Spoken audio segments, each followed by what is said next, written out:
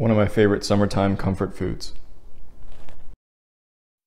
To me, chicken marsala toes the line between quick weeknight meal and fancy date night meal, especially when you put it over pasta like we're doing here. I always feel like I have to disclaim that I'm not boasting authenticity here. This is just a dish I like to eat based on the traditional chicken marsala recipes that I've seen. To start off, I'm using about a half a pound of chicken breast per person, which is roughly a chicken breast cut in half lengthwise. I keep tons of these chicken cutlets in my freezer because they're so versatile. I also use them to make my lower calorie chicken alfredo recipe, which you should check out if you haven't yet. But I freeze them already pounded thin so that they defrost quickly. You're also welcome to use chicken thighs here, but I actually prefer the taste of chicken breast in applications like this, or like chicken parmesan or chicken alfredo. As long as you cook them correctly, they won't dry out, and they have the added bonus of being lower in fat and healthier. I'm just seasoning sort of conservatively with salt and pepper. I don't want to go too heavy like a steak because this is not very thick. And then commonly with chicken marsala recipes, you coat both sides with flour. This gives us a more palatable sear in my opinion and it's also going to thicken up the sauce and give it a nice texture. So I have a pan going on medium heat that I'm adding a good bit of olive oil and about a half tablespoon to a tablespoon of butter per person. Nope, not like that. The pan is too hot and the butter is browned instantly, so let's wipe it out and start over. Okay, much better. Once the butter's all melted, we can begin to sear our chicken.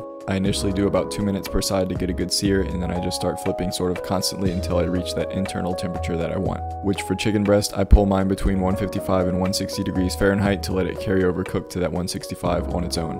You can rest that on the side while we put together our sauce, which I'm starting with a couple tablespoons of finely chopped onion. You can use shallot if you're doing small portions, or if you live in New Orleans and it's crawfish season, you can find these boiler onions at most grocery stores, which I find awesome for small portions. Then I'm gonna go in with about 2 ounces or 60 grams a serving of sliced mushroom. I'm using baby bellas here, but you can use cremini or shiitake or white mushroom, whatever you have. I'm going to stir those around and try to get those coated with some fond from the bottom. After about 3 to 5 minutes they should have softened and absorbed a good bit of flavor, so I'm going to give it a little more olive oil before putting in 1 to 2 cloves of minced garlic. We put the garlic in after the onions and mushrooms because it has the highest tendency of burning. Stir that around to get fragrant, it shouldn't need any more than 30 to 60 seconds. Then we're gonna go in with the title ingredient, which is the Marsala wine. Just like I said when I use this to make my cannoli video, there is no real substitute for Marsala wine. It has a distinct flavor, which is noticeable in the dishes it's meant to be a part of. That being said, you can probably get away with using just a generic white wine here, but I would definitely go for the Marsala if you can find it. I'd say I'm using about a quarter to a half a cup per serving and I'm just using it to deglaze the fond off the bottom of the pan. So make sure you scrape off all those good flavor bits off the bottom. Then I'm going in with about equal parts of chicken stock or in my case I'm just using water and some of this bouillon paste. This step is optional but I already had some fresh thyme so I'm plucking off a few stems worth of leaves and putting them in to bloom in the sauce. I just love the flavor of thyme. Then I'm just going to stir everything together and let this sauce boil and reduce for a few minutes. I want a good bit of the water to evaporate so the sauce can thicken up and concentrate in flavor. And here's where you want to adjust salt to taste. This is a very important step in home cooking, especially with pan sauces like this. Once it's thickened to my liking, I'm going to introduce the chicken breast back to the pan. I'm going to turn it a few times to get it well coated in the sauce, and then I'm going to cover it with a lid and let the steam heat the chicken back through so it's not cold when we're eating it. I gave mine about 4 minutes. I should note here that I made a critical error and forgot to add the heavy cream to the sauce. That would have made it so much creamier and richer, but as I show you here, it's not the end of the world, and it's actually going to be a little healthier this way. But regardless, I'm going to remove the chicken for a minute so that I can add in 3 ounces or about 85 grams of boiled pasta. I'm using fettuccine in this case, and I also reserved a bit of the pasta water to help emulsify the sauce if needed, which in my case it was needed, so I'm adding that in and tossing everything together until it's nice and cohesive.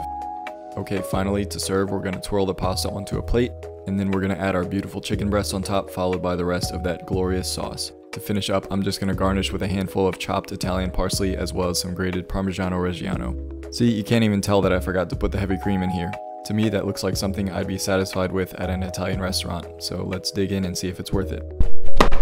How exciting. Something like this is very easy to whip up on a weeknight, and you can also scale it up if you have a bigger family, but I tend to like to make things fresh for myself so I don't meal prep a lot. And something as simple as this I can do every time when I want to eat it. Let's cut into this perfectly cooked chicken. For every chicken dish, the temperature is so important to getting a flavorful final product. Try to get a little bit of everything on the first bite.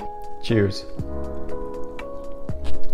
Hmm. Like I said, it's the perfect lighter comfort food. It would definitely taste better with the heavy cream and I would add it next time, but it does turn out to be a little healthier without it, and I don't think the flavor is lacking by any means. That's why it's so important to salt your food to taste at the end of the cooking process. Yeah, that Marsala wine adds such a distinct flavor that you don't get anywhere else unless you use it in a recipe. And mushrooms are always great in something like this. I love the touch of the flour on the chicken that helps to bond together the whole sauce. But this is also something you should be able to eat and not feel terrible afterwards. All I can say is Italy has done it yet again. They never miss. But hopefully this small video can give at least one person motivation to make something like this, even if it's not my recipe, but something you find online. They're all very similar. But as always, thank you all for watching and I'll see y'all next time.